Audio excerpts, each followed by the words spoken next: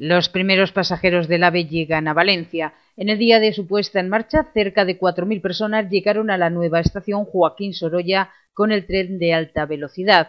La consellera de Turismo, Belén Juste, ha recibido a los primeros pasajeros del AVE Madrid-Valencia, acompañada de representantes del sector valenciano, y ha querido destacar que uno de los objetivos de la consellería es conseguir que los viajeros del AVE pernoten en la comunidad. Lo que tenemos que trabajar y todos es para que todo el viajero, turista del AVE se quede a dormir con nosotros, que pueda aprovechar la oferta cultural, que pueda aprovechar nuestra oferta gastronómica. Por otro lado, Belén Juste ha destacado un aumento de 80 millones anuales en la captación directa y la creación de 3.000 puestos de trabajo. Y es que la llegada de alta velocidad a Valencia y es que la llegada de la alta velocidad a Valencia va a suponer un crecimiento del turismo, ya que se esperan 800.000 nuevos viajeros al año que gastarán en el entorno de 1.000 millones de euros.